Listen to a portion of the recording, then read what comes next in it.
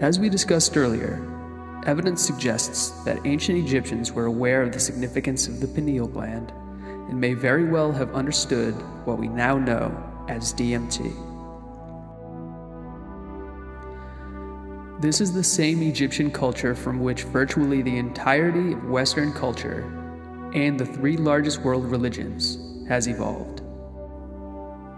Moses, who is equivocally considered a prophet by Judaism, Christianity, and Islam, led his people out of Egypt, eventually having a revelation while speaking to a god in a burning bush on a mountaintop. But what was this bush that caused the Prince of Egypt's great epiphany, inspiring him to write the Ten Commandments? Many mainstream scientists at reputable universities around the world now believe that it may have been none other than the acacia bush. The same bush revered by Egyptian culture for having birthed their gods.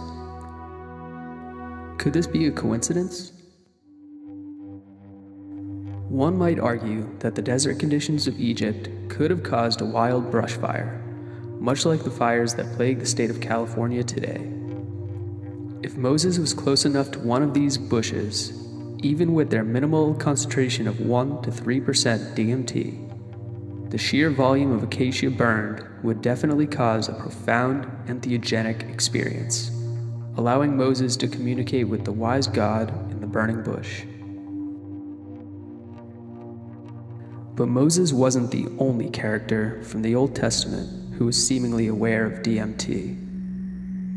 In one chapter of Genesis, Jacob meets God face to face, wrestling and struggling with him before eventually having his life spared.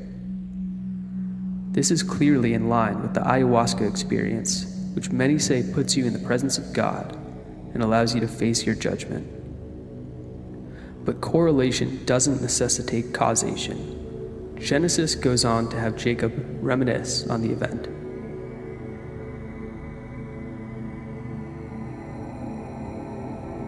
And Jacob named the place Peniel, explaining, Certainly I have seen God face to face and have survived. Genesis 32:30. And it didn't stop in Egypt. Even the Zeus fearing pagans of pre Christian Greece seem to have been aware of DMT. With an elite cult centered upon a mysterious elixir called Kykeon, involving rituals, visions, and conjuring of an afterlife.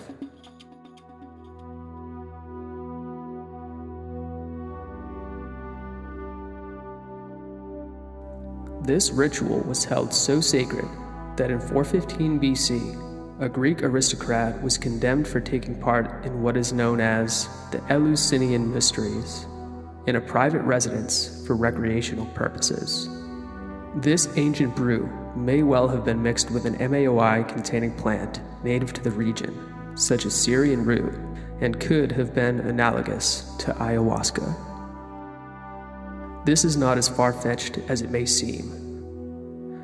It is well documented that ancient Greek physicians used Syrian rue in medicine preparations, and acacia was also well revered and is native to Greece. What's more, Ancient Greece saw the inclusion of the pine cone in much of its art, and may be the first culture to do so in world history.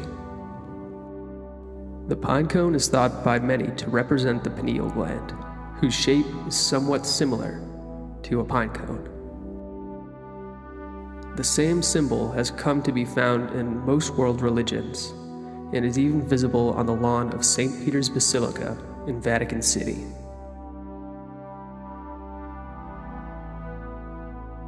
If this pine cone truly does represent the pineal gland, the early church may have been aware of the significant role it plays in religious experience. Perhaps even in the religious experiences of Jesus Christ himself. Coming up next, we'll explore the role of DMT in Christianity.